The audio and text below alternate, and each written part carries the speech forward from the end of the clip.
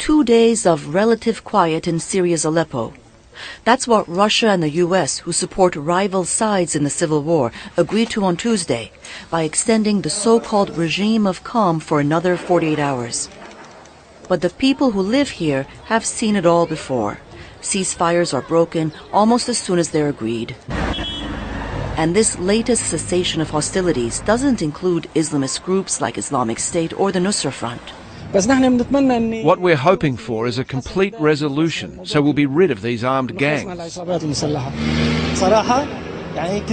Honestly, the ceasefire is a lie. The situation in Aleppo will only be resolved militarily. No such thing as a ceasefire in neighboring Idlib province bordering Turkey. At least 10 people were reported killed in airstrikes on the town of Binish. It's unclear if the strikes came from Syrian or Russian aircraft. The U.S. says the next international push for peace talks will come next week. But for those caught in the crossfire, talk that turns into real action can't come soon enough.